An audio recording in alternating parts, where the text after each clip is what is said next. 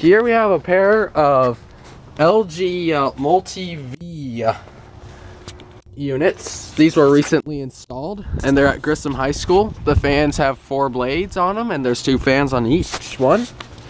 The model number on the first one is ARU-B096DTE4. The serial number, let's see here if I can find one.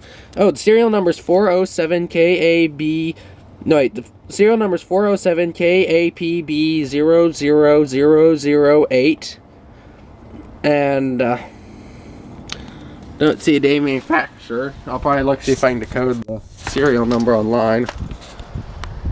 Here's a look at the fans on this one real quickly if this will focus. I'm trying to get this to focus here. There we go. Yeah, here's a look at this one. You can see this one's also a LG Multi-V.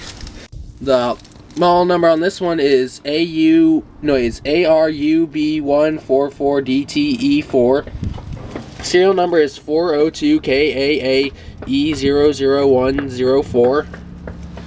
And uh, I'm going to show you the front of the unit. Here's how it looks on the front side.